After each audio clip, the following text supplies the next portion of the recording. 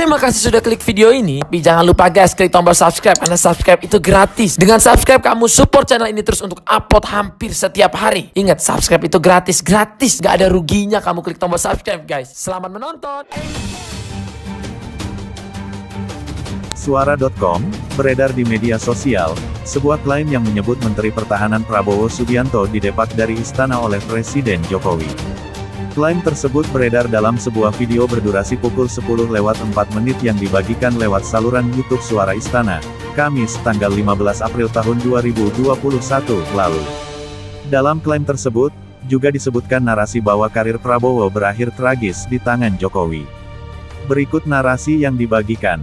Baca juga, air susu dibalas air tuba.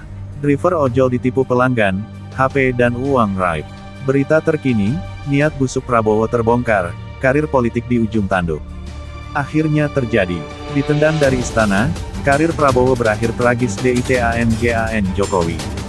Lantas benarkah klaim tersebut? Cek fakta Prabowo Subianto didepak Presiden Jokowi dari istana turnbackhoax.id.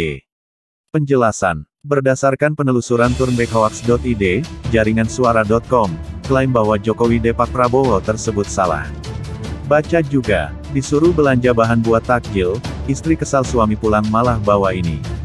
Faktanya, hingga artikel ini ditulis, belum ada informasi resmi dan valid terkait klaim yang kadaung beredar itu.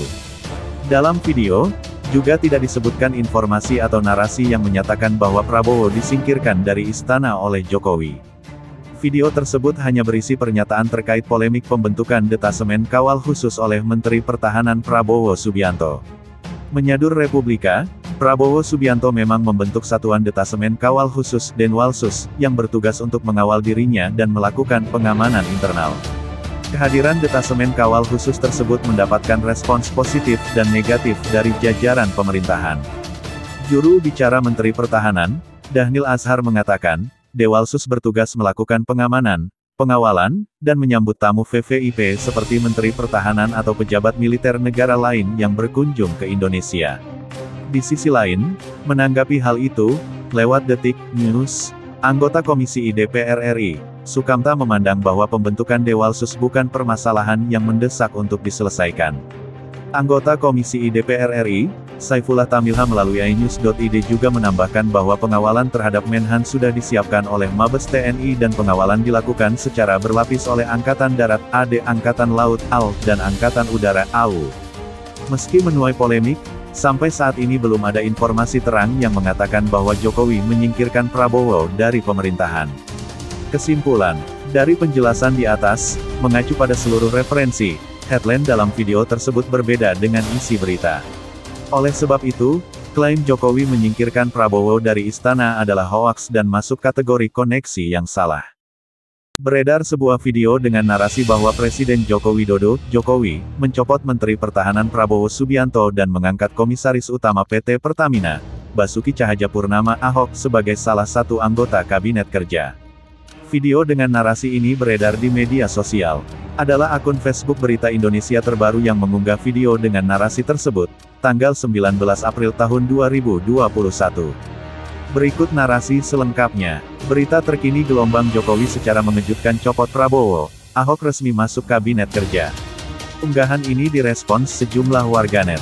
Terdiri dari 147 emotikon, 32 komentar dan 39 kali dibagikan. Penelusuran.